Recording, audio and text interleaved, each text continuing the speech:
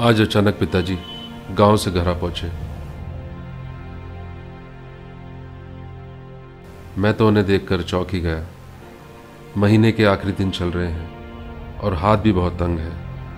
बाबा, न जाने क्या मांग बैठे।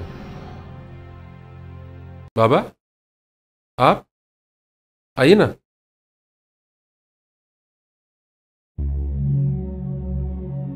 लगता है बाबा को पैसों की ज़रूरत आ पड़ी है।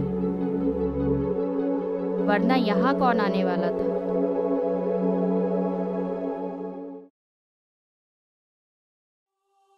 इस बार पैसे की समस्या कुछ ज़्यादा ही हो गई है। पत्नी के इलाज के लिए भी पूरी दवाइयाँ नहीं खरीद पा रहे हैं। अगले महीने बड़े बेटे का जन्मदिन है और उसे भी कपड़े और जूते दिलाने हैं। बाबा को भी अभी आना था?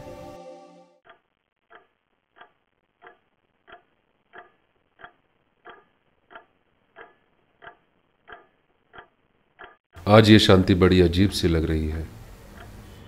पत्नी की नज़र भी सीधे दिल में चुभ रही है। और सामने बाबा, इतने आराम से खाना खा रहे हैं। यहाँ मेरी घबराहट बढ़ती जा रही है। बाबा, न जाने क्या बोलने वाले हैं।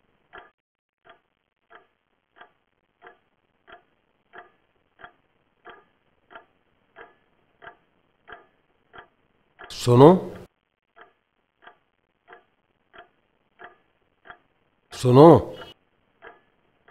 सुनो बेटा। बैठो।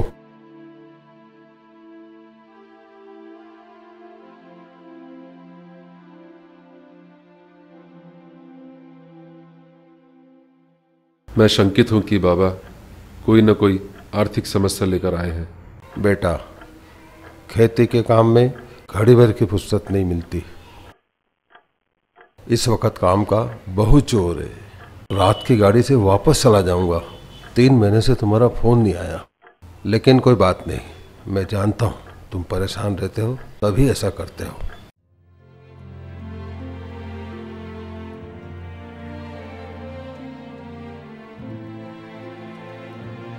रख लो। लेकिन बाबा? रख लो। तुम्हारे काम आएँगे। इस साल धान की फ़सल बहुत अच्छी हुई है। और गाँव में कोई दिक्कत भी नहीं है। तुम बहुत कमज़ोर लग रहे हो। ढंग से खाया पिया करो और बहू का भी ध्यान रखा करो। बाबा तो मेरे परिवार के लिए कितना सोचते हैं और मैं उनके बारे में क्या सोच बैठा।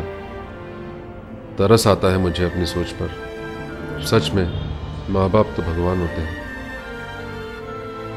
ले लो रख लो बहुत बड़े हो गए हो क्या? नहीं तो बाबा।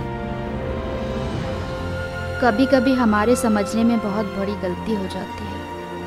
माँ बाप कभी गलत नहीं होते हैं। बचपन में मुझे स्कूल भेजने के पहले बाबा मेरी जेब में अठन्ने डाल दिया करते थे। पर तब मेरी नज़रें आज की तरह झुकी नहीं होती थी।